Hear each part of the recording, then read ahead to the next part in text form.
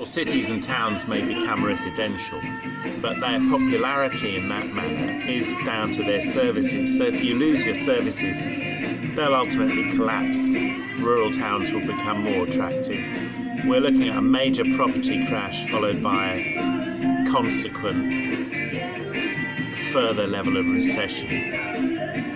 The only businesses that will survive are those that must be local and must have quality.